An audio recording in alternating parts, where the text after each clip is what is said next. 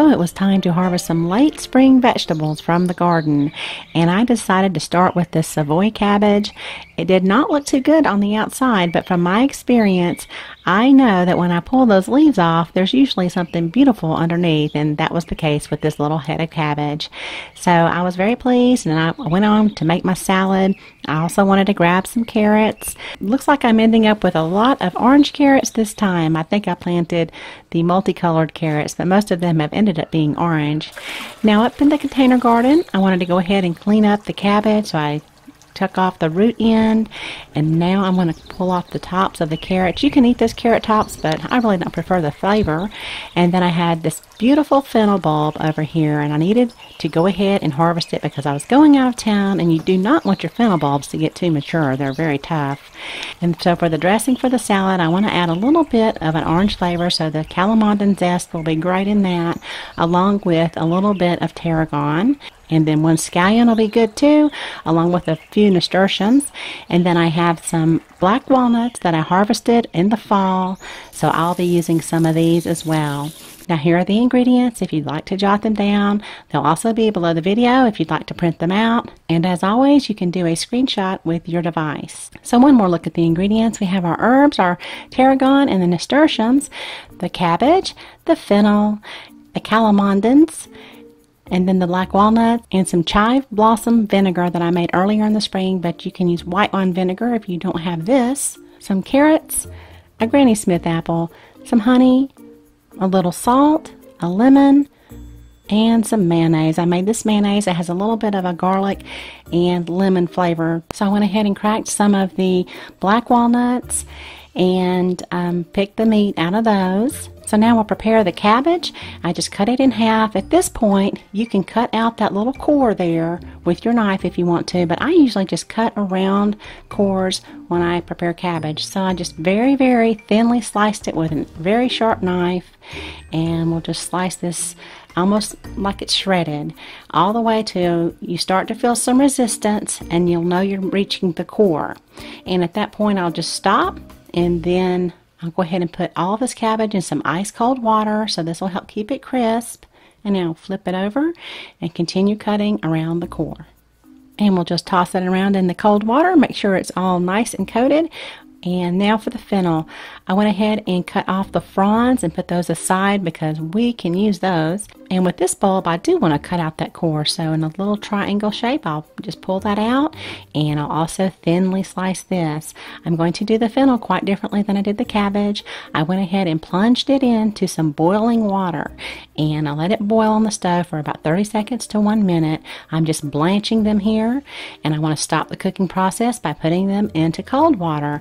Fennel can sometimes be a little tough. Um, this is pretty young fennel, so I'm not going to have much of a problem with it, but I did want to soften it up just a little bit more, and that's what that will accomplish. So it will make my salad very nice, and I'll go ahead and also take off the carrots with my little Julienne vegetable peeler. I get so many questions about this. I'll leave a link for you below the video where you can get your own vegetable peeler that cuts things into little strips like this. I think I love it. I use it all the time. And I'll do the same thing with the little Granny Smith apple.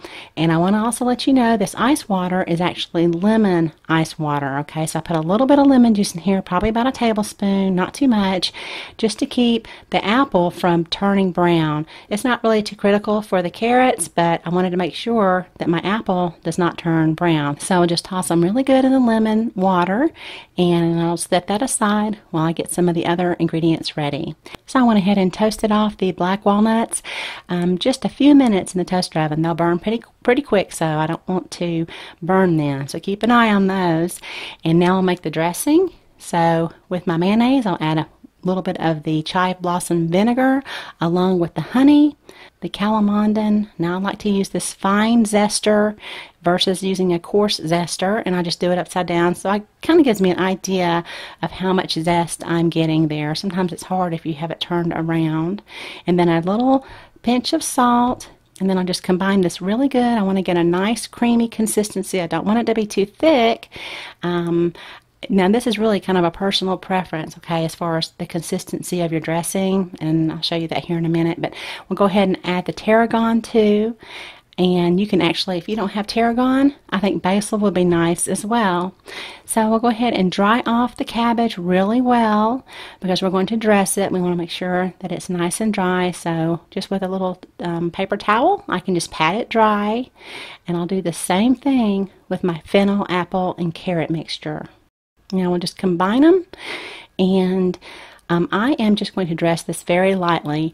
And as I mentioned, it might be something that is a personal preference. If you want to add more dressing and make it really creamy, you go right ahead. I just wanted to keep it kind of um, crisp and light, and so that's what I did. And also, when I say one head of cabbage, that's different for everybody. So you might have a lot of cabbage, and this dressing might not be enough for you. So um, keep in mind you may want to make more dressing or you want to be careful as to how you're adding it. Like me, I'm just putting half of it in right now. And then I went ahead and added the scallions and the walnuts. And I added some tips of the fennel fronds. And then I added the rest of the dressing because I felt pretty comfortable that I was not adding too much. But, you know, like I said, you might want it to be a little more creamy. So keep that in mind. And we'll just toss it really well. And just to make sure everything's nice and coated, you might want to taste it at this point just to see how it's dressed.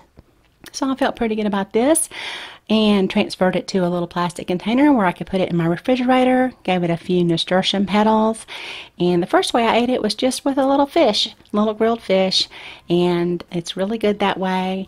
I hope you can give this recipe a try soon. It's nice and light and just delightful here in the late spring, early summer. And for more recipes and other gardening ideas, you're welcome to head on over to my channel page where over there I have a playlist button where you can click that and it'll take you on over to a lot of different playlists that I have organized by recipes and gardening tips, something over there for everyone. And if you haven't already, please subscribe and feel free to share this on your favorite social media platform. I sure would appreciate it. I am only on YouTube and Google Plus. So thanks so much for watching, and y'all have a beautiful day.